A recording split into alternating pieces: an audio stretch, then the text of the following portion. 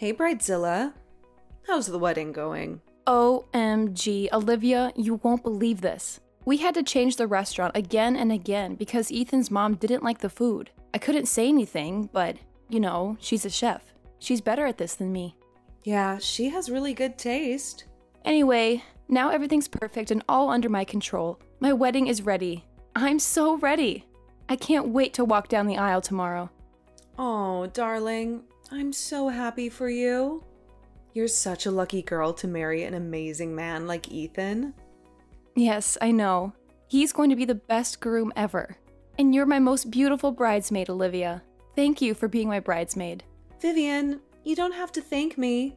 Who else is more suitable to be your bridesmaid than me? Your best friend, huh? I love you, bestie. I'm in seventh heaven right now. Hold on. Don't cry too soon. Save it for your big day, Vivian.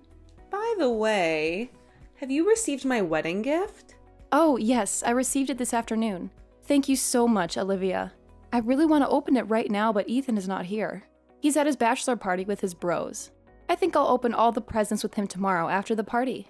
Well, maybe it would be fun if you would open it now. I prepared a huge surprise for you, honey. Really? Should I? Of course. Go ahead. Hold on, I'm opening it. I guess it's lingerie in red, right? You keep telling me about how important lingerie is for the new bride all the time. Actually, I did buy new lingerie yesterday, but they're for me. So, nope, not lingerie. My gift is way hotter. I'm so excited to see your reaction, Vivian. Oh my god, what the heck is this? Olivia? I can't believe this. You sent me photos of someone making love? Wait, the quality's not good. But I can tell the man is Ethan. Then who's the woman in the photo with my fiance? Because that is definitely not me. I suppose she's the most beautiful girl who's going to be the bridesmaid at a wedding tomorrow. What? Yes, you're right. It's me, Vivian, your bestie. Surprise! What do you mean by that? You and Ethan are cheating on me? Are you serious? Are you kidding me? Is this a prank or anything? If so, it's not fun at all, Olivia. What a pity. It's true, sweetheart. Do you know how hard I tried to take all of those photos to send to you? Really, really hard. You're lying. Tell me this is just a stupid joke.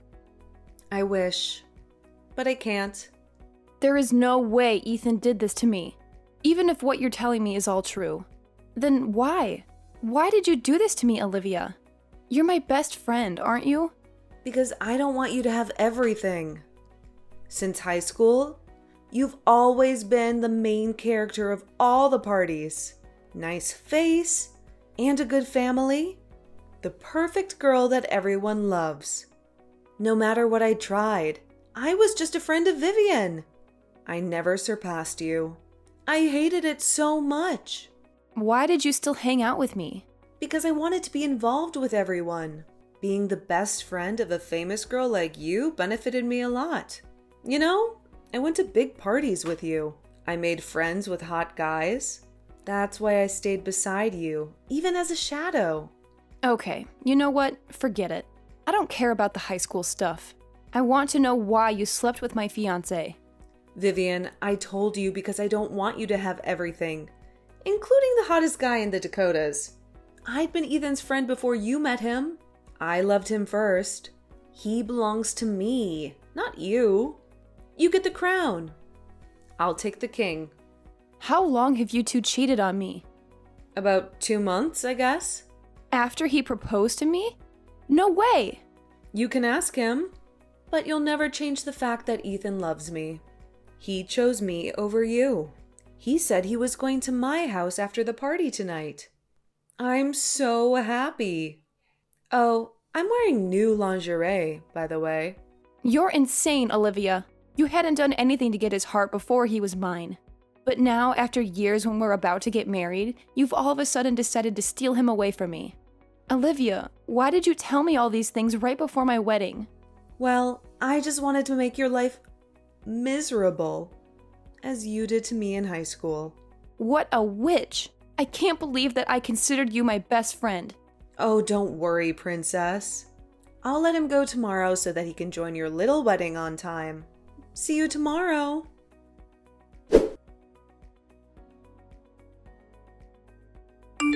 Ethan, where are you right now? Baby, I'm on my way to my cousin's house. We're having another party there. I might be home late. Don't wait for me. Go to sleep, honey. Tell me the truth. Are you going to Olivia's house? What? No. Why would I go to the bridesmaid's house? Because you're cheating on me with her. Are you drunk, Bay? You're so funny right now. There's no way I cheated on my lovely wife. Ethan, I know all the shady things you two did behind my back. You don't have to lie. Um, what shady things? Olivia took some photos of you two making love and sent them to me this afternoon. What the heck did she do? Is she crazy? So now you admit your love affair, huh? Honey, I swear it was just an accident. She was trying to seduce me. But you still fooled around with her even though you were getting married in two months. An accident? Who's funny now, Ethan? Vivian, I'm so, so sorry. Please, give me a chance. What are you going to do? Um, I'll end everything between me and her tonight. Yes, I'll do it. Then tomorrow, there will only be me and you and our wedding, okay? Ethan, you cheated on me with my bridesmaid. How can I believe what you said? No, I absolutely can't. But I'm your husband. Not yet. Vivian, why? Why can't you trust me just one more time? I can fix this. You know what? She's wearing her new lingerie and waiting for you. And I can tell that right in the moment you see her in that thing, you'll be seduced again. Okay, then tell me, what do you want me to do? Nothing you can do. There is nothing to fix this. We end here. What? You want to cancel our wedding? Of course. I don't want to marry a cheater. Vivian, I just slept with only one girl. And she's even your best friend. It's not that big of a deal. What did you say? You know, there's a bunch of couples out there getting married even after one cheated on the other. I mean, that's Olivia. She's my childhood friend. Well, she's totally healthy, so you're not going to get anything like STDs or anything. What? Ethan, you must be out of your mind saying that shit. Are you sober? Yes, absolutely. Honey, you can't cancel our wedding right now. Everyone's going to laugh at me and my family. How about me? Don't you think that they'll laugh at me if I still let the wedding happen? Despite having found out that my groom and my bridesmaids slept together? But we spent a lot of money on the wedding. If we cancel it now, there's no refund. Are you cool with that? Oh, I thought you did care about how your bride was feeling. But wow, you're just caring about the money. How ironic. Didn't you think of today when you decided to cheat on me? Ugh, whatever. Olivia was right. You're not marriage material at all. Who the hell is she to judge me? She's much better than you. Also, she obeys the man's orders. Not like you. Well, I can't take another second talking to you. You don't need to worry. Just run to your mistress. I'll take care of the wedding from now on. And you know what? Tomorrow I'll get married to anyone but you. Fine, do whatever you want. I'm sick of this. You let me choose Olivia over you. Then tomorrow, don't beg me to come back with you and be your husband. You wish.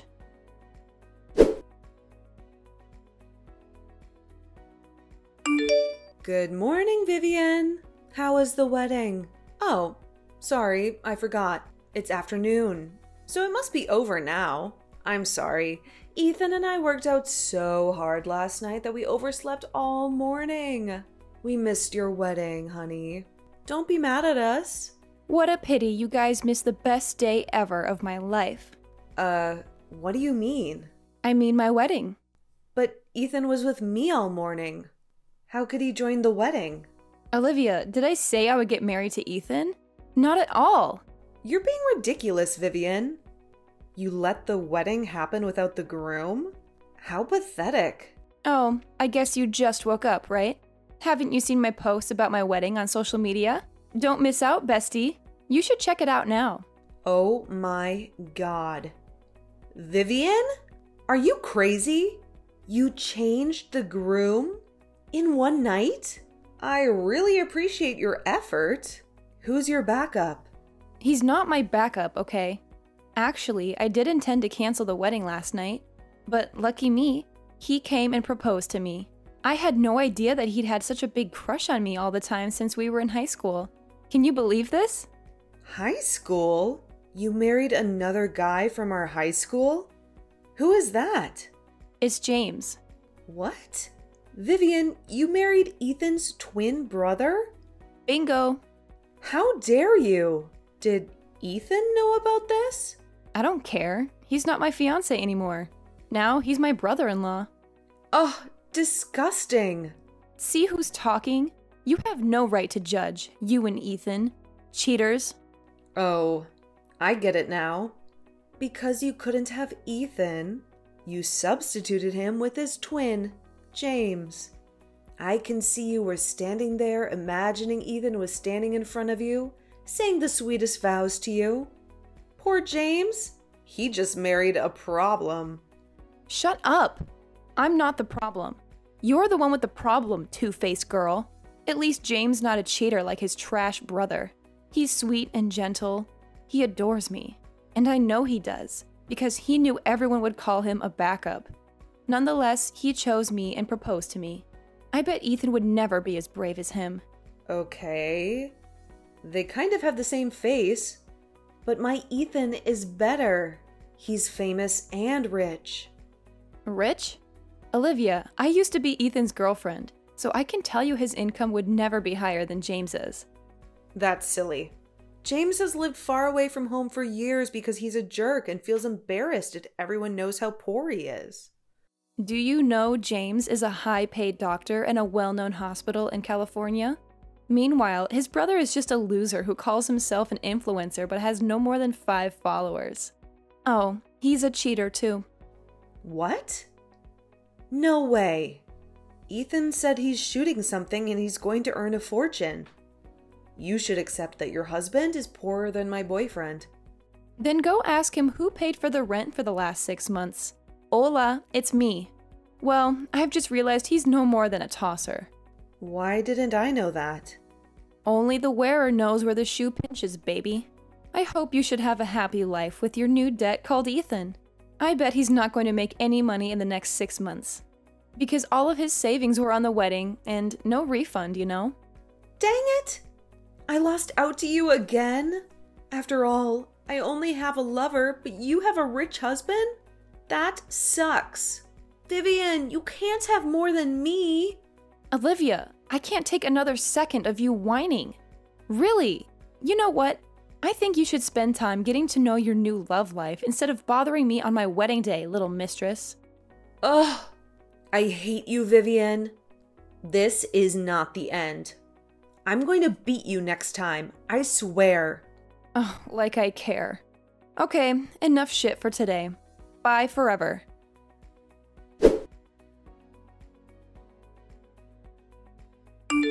Vivian, answer your damn phone. I want to talk to you. Hello, brother in law. Sorry, I'm really not in the mood right now. Don't call me that. I'm not your brother in law. I'm your husband. You're my husband? Ethan, I'm laughing my head off. you have such a great sense of humor, you know that? Not funny at all. Vivian, I'm being extremely serious. Okay, fine. So hurry up. What do you want to talk about? Me, you, and my twin brother? Did you really marry James? Exactly. I bet your mistress has told you everything about our chit chat this morning, right? Are you crazy? I told you to cancel our wedding, not marry my brother. Wow. Just to clear things up, I did cancel our wedding. And right then, James proposed to me and I said yes. Lucky for us, huh? You know who the couple had just canceled their wedding, so we used their stuff. Yesterday you were still my fiance, but today you married my brother. Why did you do this to me? Excuse me? It should be me who asks you that question. Do I need to remind you of what you did behind my back with my best friend? Well, now, just ex best friend. Vivian, how many times do I have to say that it was just a mistake? I thought that maybe after a night you would calm down and stop sulking. It's not a girly sulk, okay? I hit the roof when I saw you and her in those dirty photos. Oh, so you ended up hooking up with her last night, didn't you? Don't deny it because she bragged about it. Come on. We just chilled out because it was my bachelor party. No big deal. To be honest, you're still my everything at all times. I love you, honey. I'm supposed to be your husband, not James. Listen, no matter what you say, it's not going to work out. We ended yesterday. Everything between us is over. No, Vivian, please. I promise I'll fix it. We'll fix it together. Because that's what a relationship is about, you know? Going through life together. It's us against everything else. If everything else means cheating on your fiance, there's no relationship or love here. Ethan, when you make a huge mistake, you have to admit it, take responsibility for it, and accept the gonna be result. It's what grown ups do. Stop acting like a child. Alright, I cheated on you, so what? How about you? Look at what you did. You replaced the groom in just a night. You married your fiance's brother. That's ridiculous. No one is going to accept this marriage. Only you are opposed to this marriage. What? No. James may be too stupid to understand, but there's no way my parents will let this happen. The opposite is true. Your parents are the ones who supported us the most. After I'd showed them the photo of your love affair, they kept saying sorry to me.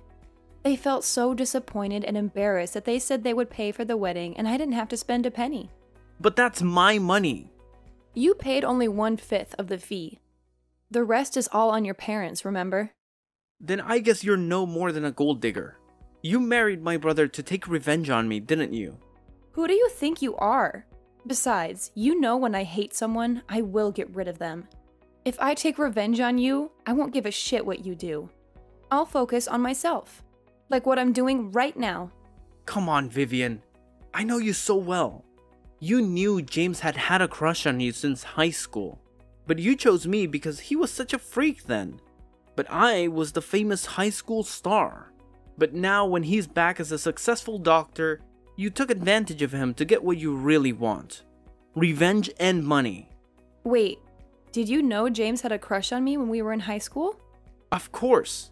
Who do you think was the person who wrote you those cheesy love letters in the first week of high school? Oh my god, I thought it was you. You lied to me. No, you're the one who misunderstood the whole story when you told me about those letters.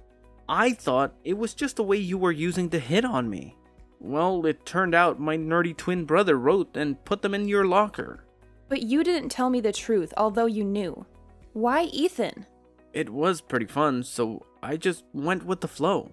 When he saw you kissing me instead of him, I could tell by looking at his face that he had a great hatred of you. That's why he moved out and disappeared immediately when we went to university. For God's sake, Ethan. If I'd known those letters were not yours, I'd never have asked you out that day.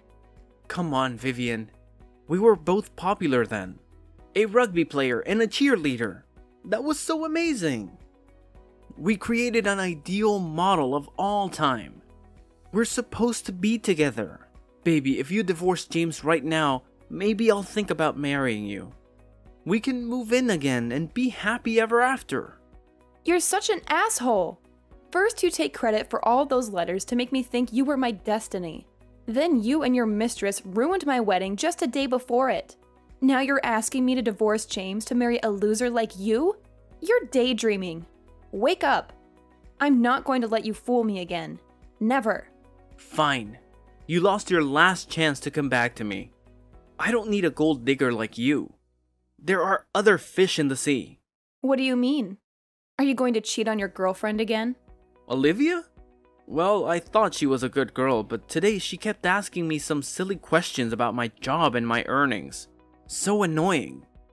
Well, then I guess she's not an idiot, as I thought. What? What did you tell her about me? Hmm, let me see. Oh, I just gave my old best friend some information about, you know, my ex fiance. Like, how do you earn your living or pay the house rent? Or should I say how I spent money on you? No doubt that she's figured out how her future is going to be if she's staying with you. Anyway, I just told her the truth. Nothing made up. That explains why she kept asking me questions about my finances. How dare you? You want to ruin my future? Seems like someone has just lost a good benefit, huh? Oh, that's why you insisted on asking me back to you so that you have a place to live rent free, right? You're so pathetic. Don't be complacent too soon. Your brief marriage with James is going to end soon. Then you will regret letting me go. Thank you for your wishes on my wedding day, brother in law. James and I have a happy ending thanks to you and Olivia. Thanks for being an asshole again so that I could marry my husband. Now get out of our life.